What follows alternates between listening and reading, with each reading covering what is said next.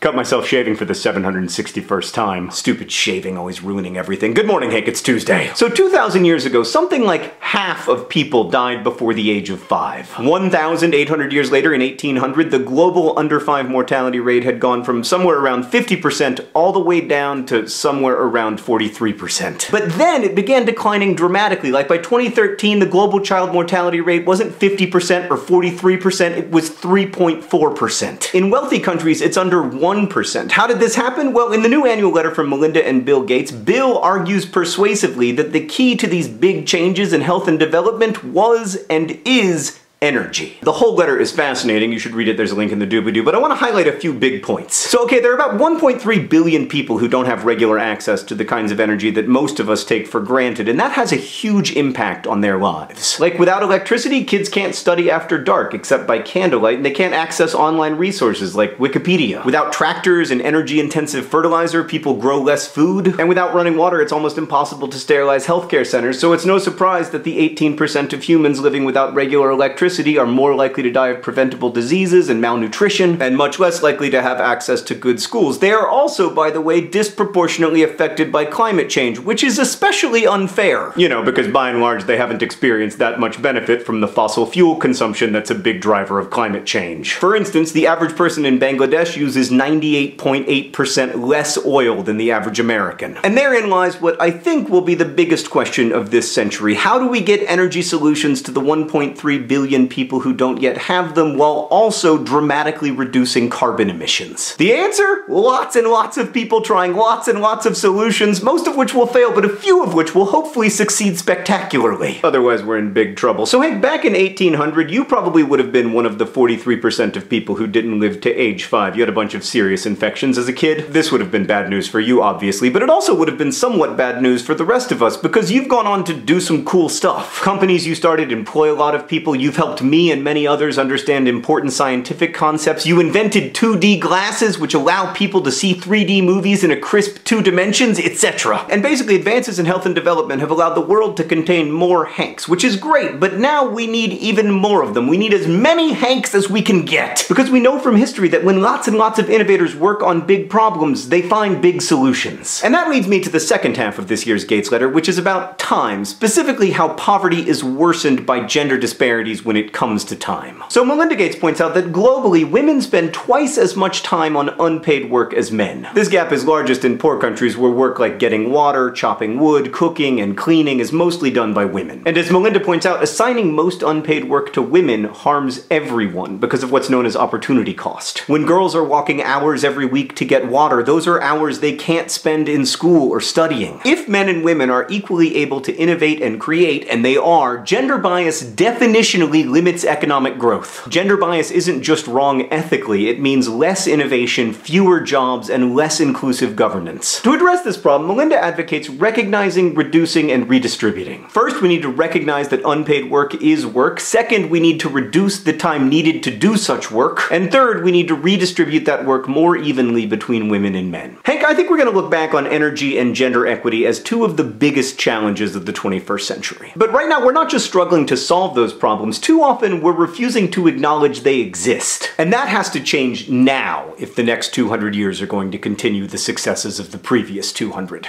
Hank, I'll see you on Friday.